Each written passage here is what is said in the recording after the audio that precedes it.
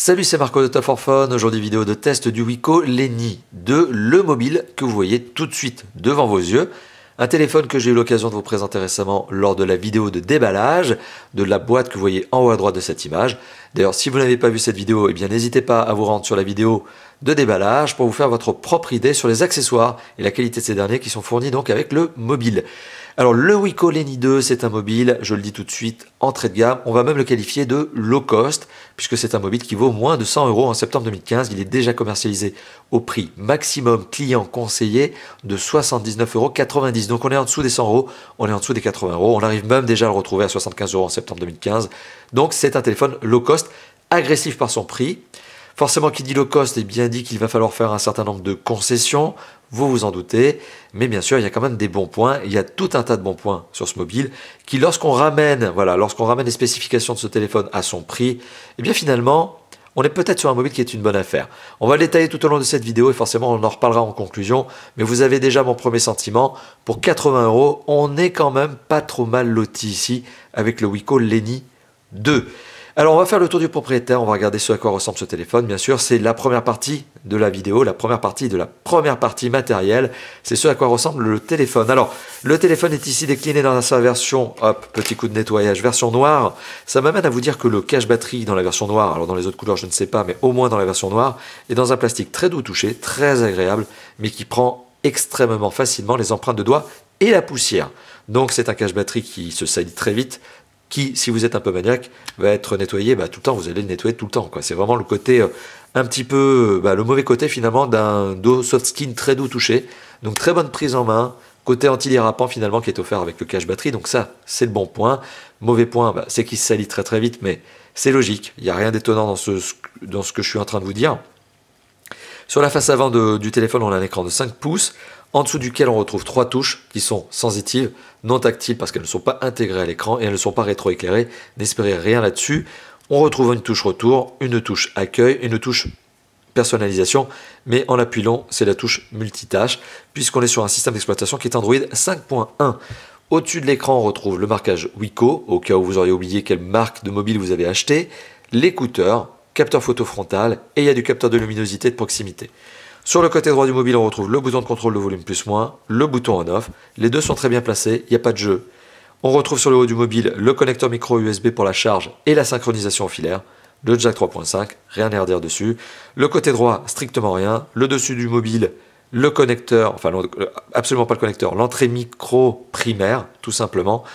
À l'arrière du mobile, on retrouve, alors plein de traces de doigts certes, mais on retrouve le capteur photo 5 mégapixels, flash LED, marquage Wico avec effet miroir incrusté dans le cache batterie, la grille du haut-parleur, avec le petit picot pour décoller le haut-parleur, donc le téléphone, d'une table, mais ça ne sert à rien. C'est purement psychologique parce que finalement le son sera toujours étouffé lorsque vous posez le téléphone sur une table.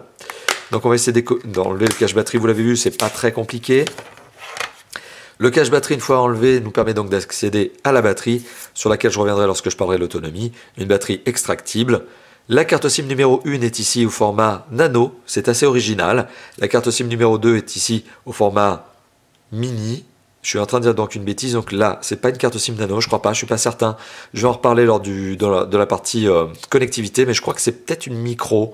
Et en tout cas, là, c'est une mini. Bon, enfin, quoi qu'il en soit, j'en parlerai d'ici quelques instants. On retrouve également l'emplacement de la carte micro SD qui n'est pas fournie avec le téléphone. Et bien sûr, j'en parlerai lorsque je parlerai des performances du mobile et notamment de la euh, capacité mémoire. Voilà, tout simplement. Donc le téléphone possède bien une batterie extractible, ça vous l'avez vu, c'est un bon point. Heureusement, après on est sur un low cost, c'est pas très étonnant.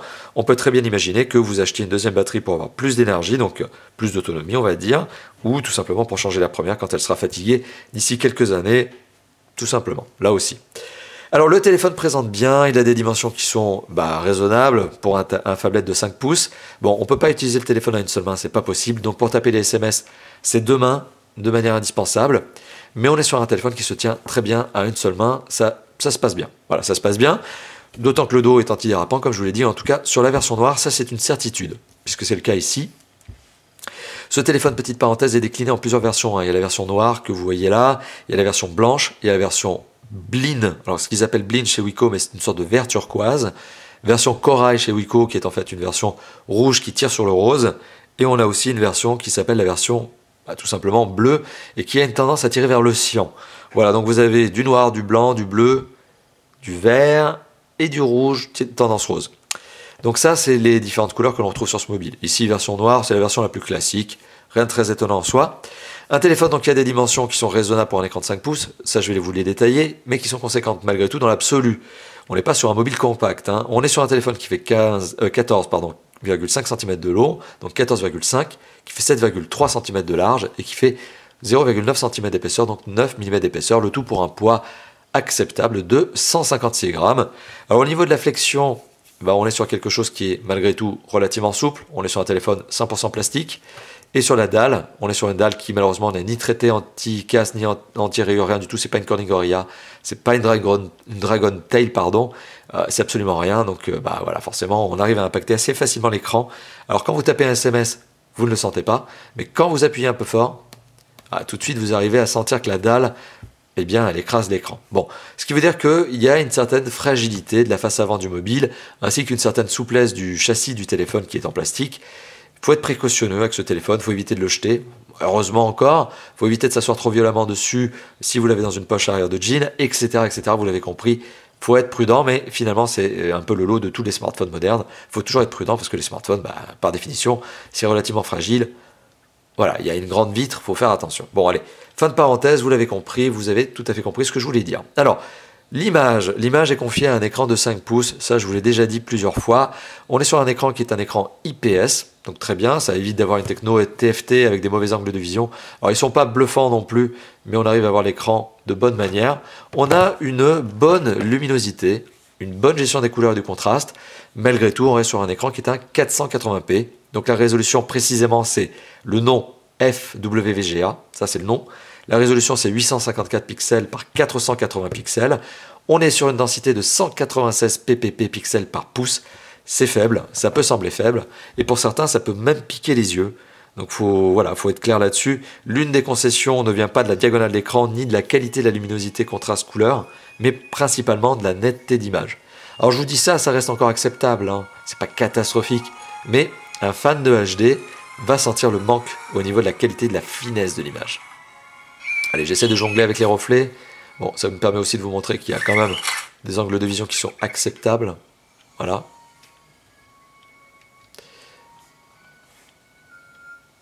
Voilà, donc on est sur Big Bunny. Ça me permet aussi de vous montrer un petit peu, enfin en tout cas de vous faire écouter la qualité du son. Donc on va mettre ça un petit peu plus fort. Le son procuré par le haut-parleur qui se trouve ici, voilà, là je suis en train d'étouffer, j'exagère, mais vous comprenez ce qui se passe quand vous posez le téléphone sur une table. Voilà. Donc le son n'est pas mauvais à la base. Hein. Il est même plutôt puissant. Mais il devient étouffé dès que vous posez le téléphone sur une table. Puissant, hein, vous l'avez compris. Voilà. Donc qualité d'image acceptable pour un 480p. C'est pas bluffant par contre. Si vous êtes fan de HD, ce que je veux dire, c'est que vous allez sentir le manque d'honnêteté. Pour le son, le jack et l'écouteur marchent très très bien. Le haut-parleur sont étouffés quand vous le posez sur une table. Mais sinon, le reste du temps, bah, ça se passe bien. Rien à dire dessus. Voilà. Donc assez correct, on va dire, pour un low cost. Dans l'absolu, c'est vrai que c'est pas bluffant très loin de là, mais c'est correct pour un low cost et c'est une des concessions qu'il faut faire sur ce téléphone. Mais une concession qui n'est pas non plus, euh, qui est pas forcée quoi. C'est pas non plus la catastrophe quoi. Alors au niveau des performances, eh ben là non plus, il faut faire des concessions certes, mais on n'est pas sur quelque chose de catastrophique. On est sur un Antutu à 20 900 points, donc on va arrondir à 20 900 points, 20 hein, 923. Donc c'est pas mal. C'est vraiment pas mal. 20 000 points, c'est le score de début d'entrée de gamme, on va dire. Hein. Donc on est sur quelque chose qui est à la limite de l'entrée de gamme. On est pas mal. On est pas mal parce que quand on lance un petit Epic Citadel, eh bien, Epic Citadel nous permet d'avoir un nombre d'images par seconde affichées avec ce téléphone en mode ultra haute qualité. Enfin, pardon, haute qualité, parce que ultra haute qualité, ça n'existe pas là. On est sur un mode haute qualité et le nombre d'images affichées par seconde est vraiment très bon. On est à 56,8 images en moyenne par seconde. Bah, c'est tout à fait satisfaisant. Ça veut dire que l'image est fluide. À défaut d'être très nette, eh ben, elle est très fluide. Et c'est justement parce qu'elle n'est pas très nette et que l'écran n'est qu'un 480p, entre guillemets qu'un 480p, que l'image peut être fluide parce qu'elle affiche moins de choses, il y a moins d'éléments 3D à calculer. Donc ça se passe très bien. L'image est fluide, hein, ça pulse, hein, vous le voyez directement, on est dans les 50, 60, 70 même. Vous l'avez vu, hein, on a le 7 qui s'affiche dans la dizaine. Donc image très très très très très fluide. Voilà, donc c'est un bon point, il faut le dire. Voilà, on, peut critiquer le 480p, bon, on peut pas par contre critiquer les performances pour ce mobile et la fluidité d'image. L'image est fluide. Alors je vous ai parlé tout à l'heure des performances, je vous ai montré le score justement euh, en tout tout, mais je vais vous simplement vous indiquer quels sont les composants qui permettent d'atteindre ces scores. Alors ce sont des composants certes entrée de gamme. Alors vous l'avez vu, vous avez quand même une petite latence hein, au sortir d'une application un peu lourde. On sent que le téléphone se remet en place. C'est, je pense, principalement lié à la surcouche, plus qu'au système d'exploitation, plus qu'aux performances. On sent que la surcouche nécessite au téléphone un tout petit temps de calcul pour être réaffiché. Vous l'avez vu à l'image, repassez l'image au ralenti, vous verrez ce que je veux dire, mais on sent qu'il y a un petit calcul du téléphone. C'est pas catastrophique non plus. Hein. C'est pas cette petite latence qui va dégrader votre utilisation. Alors, si on regarde les informations du téléphone, alors qu'est-ce que l'on apprend? Bon, il s'agit bien du Leni 2, processeur 32 euh, bits. On est sur un MT6580M. C'est un processeur Mediatek. On est sur de l'entrée de gamme avec un Mali 400MP, ce qui est logique, les deux vont de pair et on est sur une mémoire vive qui peut sembler faible pour certains, mais qui suffit sur ce téléphone. On est sur une mémoire vive de 700 mégaoctets, 768 pour être précis. Alors ça peut sembler peu, sachant que le système d'exploitation en prend 500 à lui tout seul, rien que pour fonctionner. Donc ça vous en laisse pas beaucoup derrière pour le multitâche mais ça marche très bien. Vous, allez le voir tout au long de cette vidéo. Je peux lancer plusieurs applications en même temps. D'ailleurs, il y en a qui sont lancées en tâche de fond. Là, vous imaginez bien qu'en tout tout, je l'ai lancé très rapidement. Et puis Citadel, pareil. Elles sont là, elles sont en tâche de fond. Le téléphone marche très très bien. Donc, les performances de ce téléphone ne sont pas un problème en tant que tel. Alors, par contre, il y a un truc qui peut en décevoir certains, c'est la mémoire de stockage. Alors, la mémoire de stockage interne du téléphone, elle est pour le coup faible. C'est-à-dire que le téléphone est revendiqué comme étant un 4 gigaoctets. Certes, on le sait quand on allume le téléphone, les 4 Go, ils fondent. Bon, le téléphone vous dit que vous en avez pour 2,1 Go. C'est faux, puisque en fait, finalement, quand vous allez installer toutes les applications dessus, en tout cas celles de base, faire les mises à jour et autres, vous allez tomber sur quelque chose qui est plutôt entre le 0,5 et 0,7, même plutôt proche du 0,5 Go. Donc on est sur une mémoire de stockage interne faible. Mais il y a quand même un bon point dans cette histoire, c'est que l'emplacement micro SD, que je vous ai montré tout à l'heure, vous permet d'ajouter, vous l'imaginez bien, une micro SD, micro SD qui, en elle-même vous permet eh bien, de stocker vos applications et vos jeux. Alors, juste avant ce test, j'ai fait le test du euh, Light, Rainbow Light. Le Rainbow Light avait un petit souci justement à ce niveau-là, au niveau du stockage des applications et des jeux, puisqu'en fait c'était qu'une partie des applications et des jeux qui pouvaient être stockés sur la micro SD. Ici, j'ai installé Asphalt 8 en totalité sur la micro SD, et ça se passe très bien, puisque le téléphone est fluide. Absolument rien à dire au niveau d'Asphalt 8 le téléphone fait fonctionner Asphalt 8 qui est pourtant installé sur la micro SD. Contrairement donc au Rainbow, au Rainbow Light qui n'installe que partiellement les applications et les jeux, le Lenny 2 permet d'installer les applications et les jeux sur la micro SD. La mémoire de stockage interne est faible, mais vous pouvez compléter par micro SD. Aujourd'hui, une micro SD de 16 Go, ça vaut moins de 20 euros. Ça vaut clairement dans la dizaine d'euros. Donc on est sur voilà, une capacité d'extension mémoire sympa, pour pas trop cher, une dizaine d'euros de plus, tout au plus 20 euros si vous avez envie d'atteindre le 100 euros sur ce téléphone. Vous pouvez ajouter une 32 Go, vous serez à l'aise, ça marchera très très bien. Merci à Gameloft pour la petite page de pub. Hop, on passe. On va juste se faire une petite séquence sur Asphalt 8 pour vous montrer que c'est fluide, que le jeu marche très bien. On est en qualité graphique élevée. Alors, bon, qualité graphique élevée sur un jeu 480p ici, parce que l'écran n'est qu'un 480p, bon, ça fait pas beaucoup de mal au téléphone mais on est sur le top en termes de qualité graphique, ça vous l'avez compris. Voilà, donc on va laisser le téléphone faire son petit chargement. C'est un peu long, c'est un peu long, mais comme d'habitude, c'est Asphalt 8, hein, ça prend du temps. Voilà. Donc petite séquence de loading au niveau du jeu, vous le voyez, petite introduction. Rien que ça, quand le téléphone est à la peine, on voit déjà que ça galère. Ici, vous le voyez, l'image est fluide. Pas de ralentissement. On y va. Voilà, hop, je dégomme un concurrent. On roule. Deuxième concurrent. Troisième, allez, c'est la fête. On y va. Bon, je connais un peu les murs parce que, en attendant, je suis quand même en train de regarder l'écran de la caméra pendant que je fais ce test. Donc, je ne regarde pas directement l'écran du téléphone. C'est un petit peu perturbant. Voilà, hop, je dégomme tous les concurrents. Là, je suis en forme. Bon, à force de faire toujours la même course, à force, on arrive à être bon. Allez, technique Need for Speed, on s'appuie sur les murs. Hop. Voilà. Donc petite séquence de jeu, vous l'avez vu, qui vous permet de vous faire votre propre idée sur la fluidité d'image. C'est fluide. Ah, petit temps, vous l'avez compris, là, ce petit temps de retour, là, cette surcouche qui calcule. Je pense vraiment que c'est la surcouche qui pose ce petit temps de latence entre le, entre le moment où vous sortez d'une grosse application et d'un gros jeu, comme vous venez de le voir, et le lancement du système d'exploitation, donc vraiment l'outil lui-même. Voilà, donc on est sur un téléphone qui est suffisamment performant pour faire tout ce qu'on lui demande. Maintenant, en termes de connectivité, alors, Malheureusement, vous l'imaginez, on est sur un low cost, moins de 80 euros. Connectivité, on n'aura pas de 4G sur ce téléphone, pas de NFC, pas d'infrarouge. Donc on retombe sur du vrai, entre guillemets, basique smartphone, à savoir qu'on a de la 3G, mais on a de la 3G+, HSPA+, donc c'est le maximum de la 3G, ce qui n'est pas trop mal finalement pour un téléphone à moins de 80 euros, pour un low cost. À côté de ça, on est sur un téléphone qui est un GSM quadriband. Donc vous pouvez l'amener avec vous tout autour du globe. Ce téléphone s'accrochera aux réseaux locaux. Donc là-dessus, pas d'inquiétude. Et à côté de ça, bien sûr, vous l'imaginez, on a tout ce que demande un utilisateur moderne de smartphone moderne. On a bien sûr du Wi-Fi, on a du Wi-Fi donc BGN hotspot, on a du Bluetooth 4.0, radio FM aussi.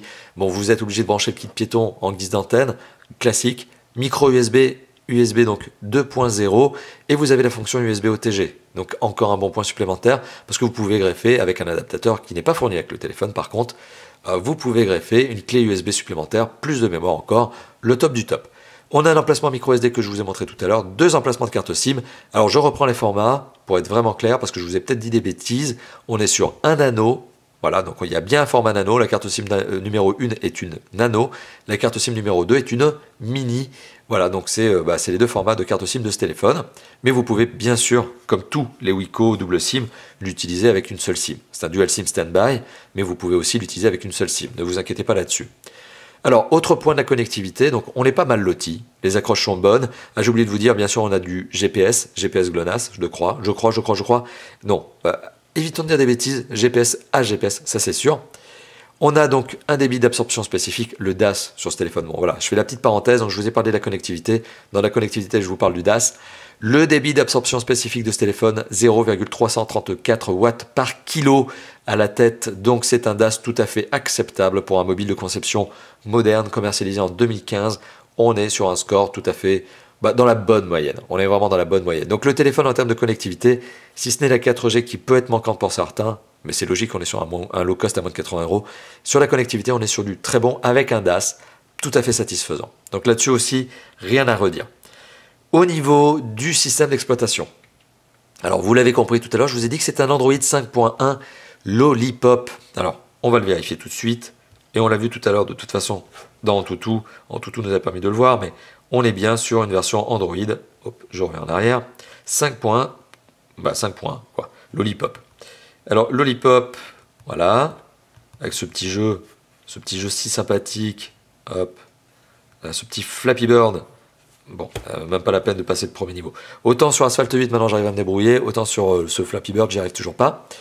Donc, Android 5.1 Lollipop, avec une surcouche graphique que vous avez vu qui est très légère de la part de Wiko, ce qui veut dire qu'elle ne consomme pas beaucoup de RAM. Par contre, vous l'avez compris, elle nécessite au téléphone à chaque fois d'être recalculée. On a l'impression que voilà, elle demande au téléphone ce petit effort de réflexion. C'est assez bizarre, mais bon, elle est là, elle marche bien, elle n'est pas trop gourmande. Il n'y a pas trop d'applications de fonctionnalités supplémentaires. Vraiment, pour tout vous dire, d'ailleurs, il n'y en a quasiment pas. On va juste citer Clean Master, qui est une application en partenariat ici avec Wiko qui est installée gratuitement, sur laquelle on va revenir. OK, voilà. Et qui vous permet notamment, eh bien, Clean Master, de libérer de la mémoire de stockage en supprimant des fichiers temporaires inutiles, par exemple, ou encore en libérant la RAM. Là, vous l'avez vu, la RAM, elle est squattée à 57%, bon, un peu plus de la moitié. En gros, quand vous allumez le téléphone, je vous l'ai dit tout à l'heure, c'est 500 MO de RAM qui disparaissent pour le système d'exploitation. Voilà, vous ne pouvez pas en faire grand chose d'autre, c'est le système d'exploitation qui les prend. Voilà, donc vous avez l'application Clean Master fournie gratuitement avec ce téléphone, c'est très bien. Il n'y a pas grand chose d'autre, hein. franchement, il n'y a pas grand chose d'autre. Euh, au, niveau de au niveau des fonctionnalités, euh, bon, bah voilà, on est sur une ergonomie, par contre, ça il faut le dire, on est sur une ergonomie où tout est à plat. Il n'y a pas de profondeur de navigation, ça c'est la surcouche Wico qui est apparue en 2015 donc une surcouche légère mais qui modifie le design avec du fond d'écran, des icônes retravaillées et l'ergonomie puisque tout est à plat, tout se suit avec des panneaux d'accueil. Vous pouvez bien sûr faire des dossiers, hein, il y a quand même cette possibilité-là pour bien classer vos, applications et vos jeux, mais tout est à plat, il n'y a pas de menu, de profondeur de menu. Voilà, c'est vraiment à plat et c'est pas plus mal parce que ça vous permet aussi eh de désinstaller beaucoup plus rapidement des applications. Par exemple, hop, Avant, j'étais obligé de passer par la profondeur du menu, d'aller chercher l'application, de la glisser pour la désinstaller. Là, non, puisque c'est directement sur le panneau d'accueil, l'un des panneaux d'accueil.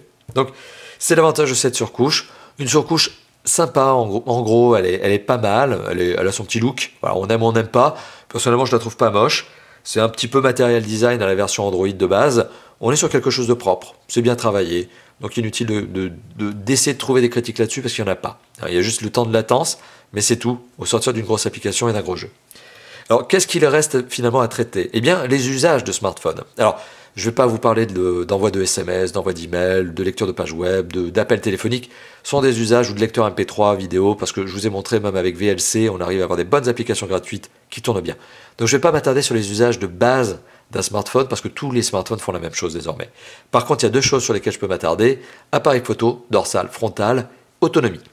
Alors l'autonomie, c'est très rapide à dire. Hein. C'est une autonomie de un jour, un tout petit peu plus. C'est un téléphone qui, pour fonctionner, pour une heure de vidéo, 50% de luminosité, donc c'est mon test très classique. Hein. Je recharge le téléphone à 100%, je fais tourner une heure de vidéo avec résolution maxi, connectivité toute allumée, Bluetooth, Wi-Fi, 50% de son, 50% de lumière, de luminosité, donc on arrive à à peu près 20% de batterie consommée. C'est logique, on est sur une batterie qui est peut-être un tout petit peu petite, de 1800 mAh, c'est un peu dommage, on aurait aimé avoir un peu plus, 2000, peut-être 2200, pour avoir ce petit regain d'énergie supplémentaire. C'est quelques heures d'utilisation quotidienne supplémentaire, mais malgré tout, on est sur un téléphone qui dépasse la journée avant d'être chargé. À moins d'être tout le temps sur Flappy Bird, ça n'existe plus, sur Clash of Clans ou un autre jeu du type, ou même Asphalt 8, à moins de demander beaucoup de choses à votre téléphone en termes d'usage, donc gros jeu 3D, c'est un téléphone qui tient la, la journée avant d'être chargé. Donc, pas de critique à faire vraiment fondamentale sur la batterie. En plus, elle est extractible. C'est une petite batterie, certes, mais elle fait son travail sur un téléphone qui, dans l'absolu, n'est pas trop énergivore. Et heureusement, c'est ce qui permet de contrebalancer la batterie qui est un tout petit peu petite. On aurait quand même préféré une batterie de 2000 mAh. Ça aurait été mieux. Mais bon, c'est comme ça. Là, on est quand même pas mal loti. Faut pas trop critiquer non plus. Faut pas chercher la petite bête quand il n'y a pas besoin. Alors au niveau des capteurs photo, là pour le coup, là je vais chercher la petite bête. Là pour le coup, on est sur un capteur photo qui est pas bluffant. Le dorsal est un 5 mégapixels qui apparemment n'a pas d'autofocus, qui, qui est pas en perte totale, mais il fait tout ce qu'il peut ce capteur photo. On sent qu'il fait tout ce qu'il peut, mais il n'y a pas d'autofocus, hein, il n'y a rien. J'ai beau secouer, euh, voilà, il n'y a rien, il n'y a pas d'effet quoi. Donc euh, ce qui veut dire que bah, c'est une focale fixe. Alors le, téléphone forcément il n'y a pas d'autofocus, il n'y a rien à calculer, la prise de vue est rapide, mais c'est pas génial. On sent que le téléphone essaie de faire tout ce qu'il peut. On sent que derrière, la, partie logicielle essaye de rattraper le coup, mais ça reste un 5 mégapixels et les photos sont vraiment pas bluffantes. D'ailleurs, pour info, comme d'habitude chez Top 4 Phone, vous retrouverez deux échantillons photos, une prise avec le capteur dorsal, une prise avec le capteur frontal sur le site de Top 4 Phone. Donc n'hésitez pas à vous rendre sur le site de Top 4 Phone, sur l'article de test, vous avez deux échantillons photos pris avec ce téléphone. Vous ferez votre propre idée. Moi, je vous donne mon impression. Mon idée, c'est que on sent que le téléphone fait tout ce qu'il peut, mais euh, voilà, on fait pas des miracles avec un 5 mégapixels à l'arrière. Et le 2 mégapixels en frontal, bon, lui aussi, il essaie de faire son travail, mais c'est pas bluffant. Donc, euh, petite photo, coucou à la caméra. Donc, vous retrouverez les échantillons photos. Faites-vous votre propre idée. Dites-nous d'ailleurs dans les commentaires ce que vous en pensez. Pour moi, c'est voilà, on sent qu'il y a une, une tentative de bon travail, mais c'est pas bluffant. C'est un low cost faut en être conscient, les capteurs photos sont clairement l'un des points faibles de ce mobile. C'est pas catastrophique, c'est adapté à un low cost, faut pas se méprendre sur ce que je suis en train de dire, je suis pas en train de dire qu'ils sont mauvais mauvais, je suis juste en train de dire que bah ils sont pas terribles et que c'est adapté à ce type de téléphone. Voilà. Par contre, on retrouverait ce capteur 5 mégapixels sur un entrée de gamme à 200 euros. Là, je serais vraiment, vraiment très critique. Là, je vous dis juste qu'il est pas terrible, il est mauvais, mais il est adapté. Voilà, donc il faut, voilà, il y a une échelle de référence, il y a une échelle de valeur. Voilà, il faut, faut calculer le prix aussi, il faut prendre le prix en compte. Voilà, bah, je vous ai donné mon sentiment, à vous de faire votre propre sentiment en regardant les échantillons photos. Voilà. Donc il est temps de passer à la conclusion de cette vidéo, une vidéo qui dure depuis près de 25 minutes, donc vous voyez, on va arriver aux 30 minutes à peu près comme d'habitude. Hein, on commence à être rodé hein, quand même chez Top les formats sont, sont plutôt bien calibrés. Donc, qu'est-ce que je peux vous dire sur ce téléphone? Est-ce que c'est un bon mobile ou un mauvais mobile?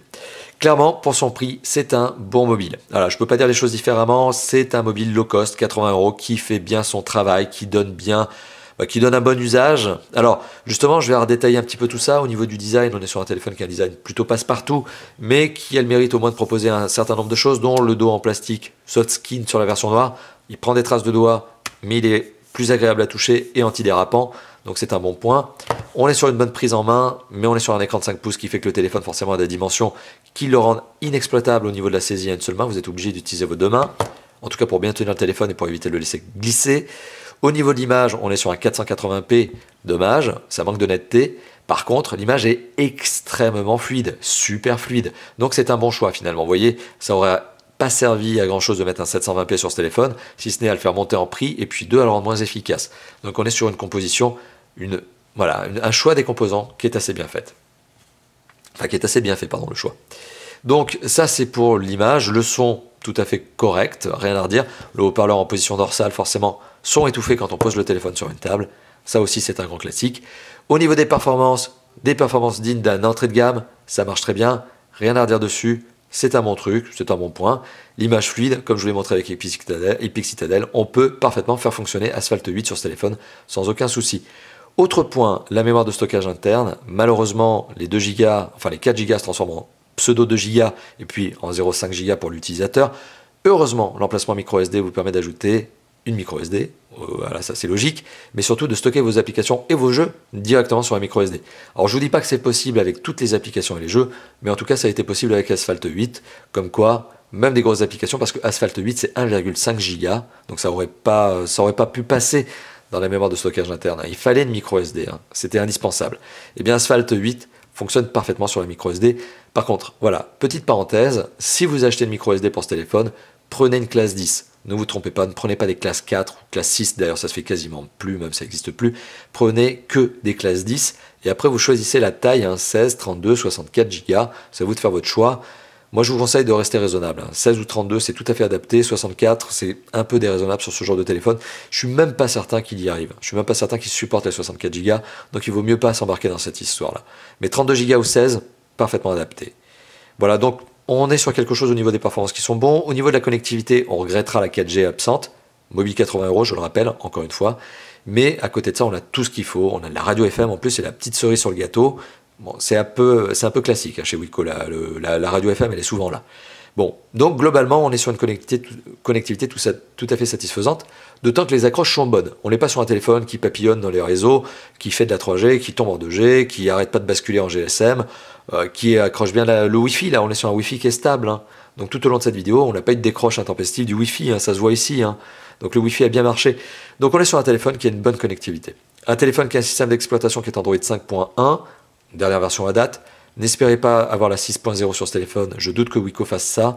Par contre, vous avez des patchs correctifs qui sortent de manière régulière sur les téléphones Wiko, y compris celui-là. Il y a déjà une petite mise à jour de mémoire et ça permet justement bien d'avoir des téléphones qui soient toujours débuggés par la marque. Donc, on a beau critiquer Wiko pour son suivi de mise à jour, bah, c'est plus vraiment le cas depuis déjà une bonne année. Wiko donne vraiment un suivi attentif à ses mobiles. Certes, on ne passera pas en 6.0, j'en doute réellement, mais d'un autre côté, ça serait inutile sur un téléphone comme ça, ça ne ferait que le pénaliser. On sait que les passages de grosses versions euh, de système d'exploitation à une autre, en général, eh bien, ça ne fait que rendre des téléphones moins performants. C'est valable même avec les ultra haut de gamme. Alors avec un low cost comme ça, il vaut mieux pas faire le test. Donc on est sur un système d'exploitation qui marche bien, avec une application qui s'appelle Clean Master, qui rajoute un petit agrément d'utilisation. Pour le reste, il y a un petit peu de design, une ergonomie à plat, et on n'en demande pas plus. 500 MO de RAM piqué par le système d'exploitation au démarrage, c'est classique. Voilà, donc on est sur un bon point là-dessus. Donc il reste l'usage. Le capteur photo, je vous en ai parlé tout à l'heure. J'ai vraiment insisté sur ce point-là. Ils sont pas satisfaisants, mais ils sont adaptés à un low cost. Donc on peut pas, on peut pas taper à outrance là-dessus. On peut juste dire que c'est normal. Mais bon, ne vous attendez pas vraiment à des belles photos, c'est pas le cas, ça sera pas possible. Et au niveau de la batterie, bon, on a une autonomie correcte, une journée, un tout petit peu plus, mais c'est devenu le standard aujourd'hui. Un smartphone, s'il tient moins d'une journée, c'est une catastrophe, mais s'il tient une journée, c'est normal, voire deux journées pour les meilleurs, ce qui est extrêmement rare. Donc ici, on est sur un téléphone qui atteint la journée avant d'être chargé, rien à redire dessus. Donc voilà, vous avez mon sentiment, je l'ai dit déjà deux fois, je le redis une troisième fois, oui c'est un bon téléphone pour son prix. Si ce téléphone avait coûté 200 euros, ça aurait été une catastrophe, mais bien sûr Wiko est une marque intelligente qui ne fait pas ce genre d'erreur. Donc on est sur un téléphone qui vaut 80 euros en septembre 2015. Bien sûr, ce prix est déjà eh bien, euh, plus attractif puisqu'on retrouve des 75 euros déjà sur le web. Je ne doute pas que dans les mois à venir, on retrouve quelques petits euros en moins encore sur ce téléphone. Peut-être qu'on arrivera dans les 70 euros, ce qui le rendra encore plus attractif. Mais déjà, Maintenant, actuellement, à 79,90€, qui est le prix maximum conseillé, on est sur un mobile low cost que je trouve que je trouve très sympathique. Il est très bien pensé. En tout cas, c'est mon avis. Maintenant, je vous ai donné tout un tas de points tout au long de cette vidéo qui sont des éléments objectifs, factuels. Donc vous avez, vous aussi, pu vous faire votre propre avis. Eh bien, n'hésitez pas à la mettre dans les commentaires, n'hésitez pas à dire ce que vous pensez du Wiko Lenny 2, le Wiko Lenny 2. Est-ce que c'est un bon mobile pour vous? Est-ce que vous pensez que c'est un bon mobile? C'est votre réaction que j'attends dans les commentaires.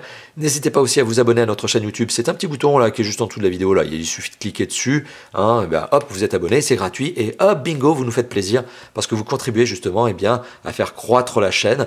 Et c'est grâce à vous justement que cette chaîne est en train de croître, de continuer à se faire connaître de plus en plus. Hein.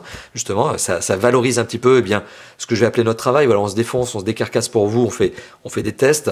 Et eh remerciez-nous. Et bien, la manière de nous remercier la plus simple, hein, c'est tout ce que je demande, c'est commenter, abonnez-vous, voilà, ne faites pas plus que ça, likez la vidéo, ça serait quand même sympa, c'est le petit pouce bleu là qui est juste là, il n'y a pas à chercher très très loin, il y a juste un petit pouce bleu, hop, et c'est fini.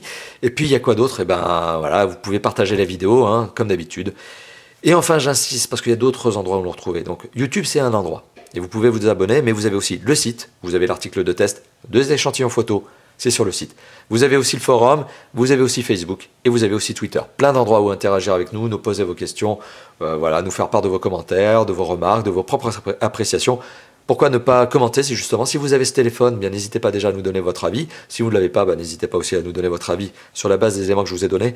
Bon voilà, je vais arrêter le blabla parce que cette vidéo dure déjà depuis près de 31 minutes maintenant. Vous voyez, on est vraiment dans le format classique chez Top Et je vous dis à bientôt, à bientôt bien sûr pour d'autres tests, d'autres déballages, d'autres présentations. Comme toujours, c'est la fête chez Top on fait plein de vidéos, tout ça pour vous. Allez, à bientôt, trêve de blabla, on se retrouve pour d'autres vidéos. Allez, ciao ciao